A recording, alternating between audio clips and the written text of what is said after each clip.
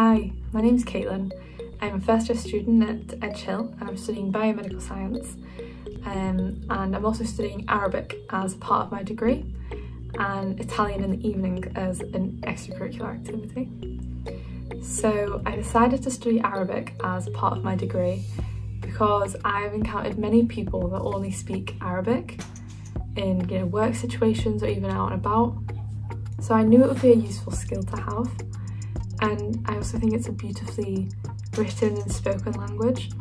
So I was really interested in being able to write in their script and you know understand the different letters and everything. And the classes are normally quite small, so it's very it's got a very comfortable atmosphere. You can just you know ask questions easily and the teachers are really approachable. So it's been a it's been a great experience and it's also something a lot of employers are interested in. So it's definitely something you can put on your CV.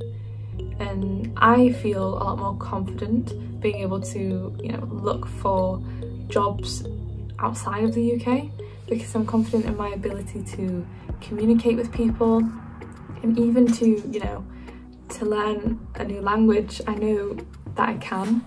So I definitely recommend taking a language as a part of your module or even as an extracurricular activity. Um, I think it's definitely worth your while.